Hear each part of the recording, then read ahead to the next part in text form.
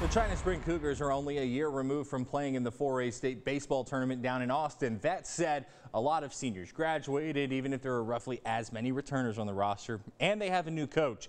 In a rematch of last year's regional final, the Cougs were hoping for the same result, a sweep of Carthage. The Bulldogs took game one, and things were looking bleak when the bottom of the seventh and game two started with Carthage up 6-2. Then Jaden Honey down a run walked it off and gave China Spring new life and a third chance at this year's regional final. Uh, definitely just thinking pass the torch, you know, have a good AB, see if I can get on. You know, that's the goal. Just it's not all about me. I didn't I didn't mean to do that one swing, but you know, just trying to put good contact on it. Uh, it all worked out. So it was time for him to come out, and uh, man, he he fights. He's a, he's a fighter. I'm proud he's on our team. First pitch Saturday set for 3 p.m. back in Forney.